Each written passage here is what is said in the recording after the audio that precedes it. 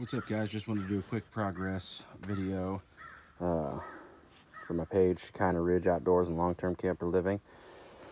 Uh, one of the things that I'm doing here today, uh, I have all my joists in place, my joist hangers.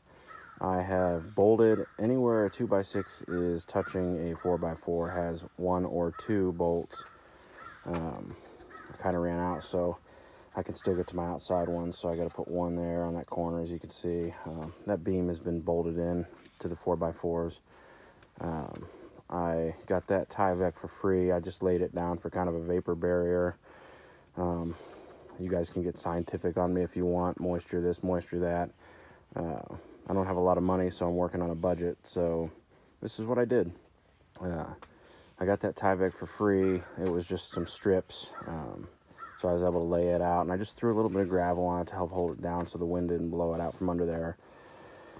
I've also put these wire pieces in to help hold my insulation in place. I put them about every three feet. Uh, I'm going to staple my insulation in place and start putting my sheeting on. I've got kind of a muddy mess going here uh, with the rain we had over the last few days. But uh, that's it. That's it so far. Getting ready for insulation and sheeting. Talk to you later. Bye.